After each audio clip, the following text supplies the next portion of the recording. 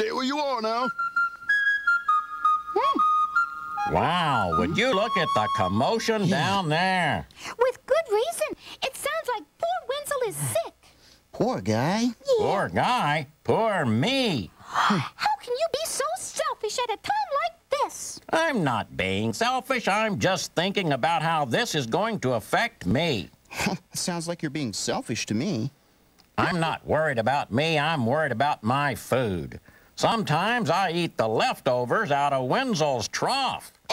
If something happens to Wenzel, I could starve. Bonkit, you should be ashamed of yourself. Poor Wenzel is sick. We have to think about how we can help to make him better, and not about your leftovers. You worry about what you want. I'll worry about what I want.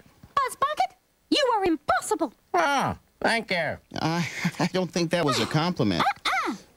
Anyway, you should stay away from the barn for a while. I heard Mr. Houston say that Wenzel might be contagious. Oh, dear. Can watch us? Contagious. it means that other people could catch what Wenzel Yeah. has. That's awful. That's better, Buzz. Now you're sounding more concerned. You bet your beak I'm concerned. Mm-hmm. He could infect those leftovers with all his sicky germs. Would uh, you stop with the leftovers? Yeah. Hey, Wenzel might make us all sick. Oh, dear. Hmm. Oh, You know, I think I'll check with Leela B. She'll know how we can stay healthy and not get sick.